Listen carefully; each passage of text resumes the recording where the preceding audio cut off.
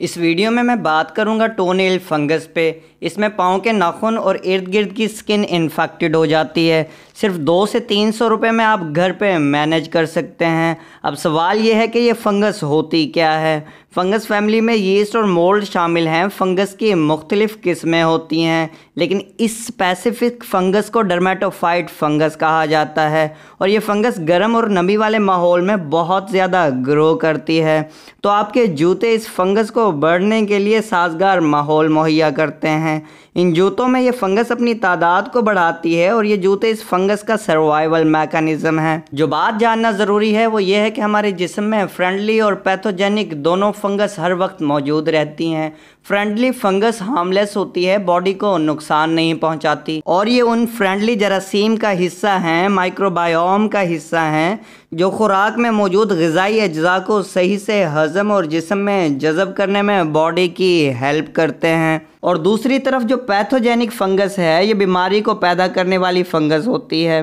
ये बॉडी में इन्फेक्शन की वजह बनती है। हमारी बॉडी के नॉर्मल फ़ंक्शन के लिए पैथोजेनिक और फ्रेंडली दोनों फंगस का बैलेंस रहना बहुत ज़रूरी है। गुड फंगस और बैड फंगस को बैलेंस रखना हमारे इम्यून सिस्टम का काम है। मदाफती निज़ाम जब कमज़ोर होता है तो डर्मेटोफाइट फंगस की ग्रोथ आउट ऑफ़ कंट्रोल हो जाती है। हमारी बैड ईटिंग हैबिट की वजह से ये फंगस बढ़ती है। माजी में बहुत ज़्यादा एंटीबायोटिक के इस्तेमाल और बुरे लाइफस्टाइल की वजह से ये फंगस बहुत ज़्यादा बढ़ने लगती है। एंटी फंगल ट्रीटमेंट की बात करें तो लेमासिल कॉमनली इस्तेमाल की जाती है दो से तीन महीने के लिए। डीप पेनिट्रेशन मतलब जड़ से ख़त्म करने के लिए इसका इस्तेमाल लंबे अरसे तक किया जाता है।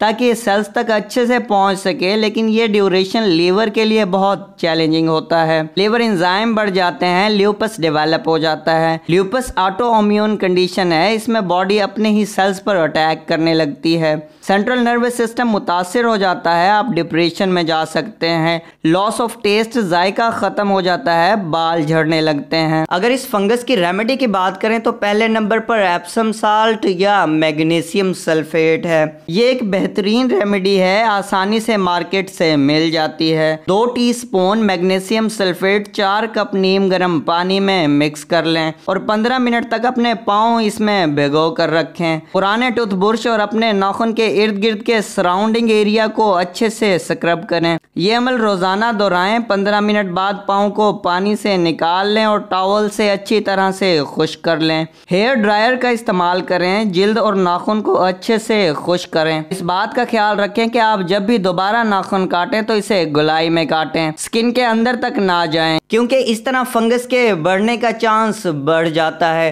लोग ये समझते हैं कि वो फंगस को साफ़ कर रहे हैं, लेकिन बेसिकली वो नुकसान की तरफ़ जा रहे होते हैं। ज़्यादा वक्त सैंडल पहनकर गुजारें, बंद जूतों का कम इस्तेमाल करें, ताकि पाँव में हवा लगती रहे। थोड़ा लंबा प्रोसेस है, इसको स्पीड अप करने के लिए कुछ चीज़ों को साथ मिलाना बहुत ज़रूरी है। इसमें टी ट्री ऑयल है इम्पोर्टेड किसी भी अच्छी क्वालिटी का किसी भी ऑनलाइन स्टोर से मिल जाएगा।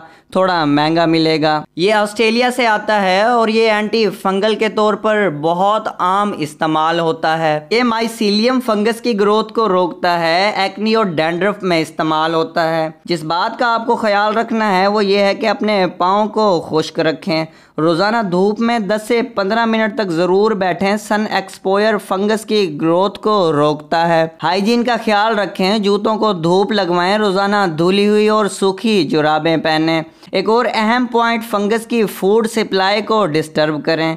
और वो है carbohydrate added sugar vegetable oil चीनी और तेल से बचें। तो अगर ये चीज़ें अपना लेते हैं तो ना सिर्फ़ फंगस ख़त्म हो जाएगी, बल्कि इसका दोबारा आने का रिस्क भी बहुत कम हो जाएगा। अपना ख्याल रखिए मिलते हैं नेक्स्ट वीडियो में। अल्लाह हाफिज़।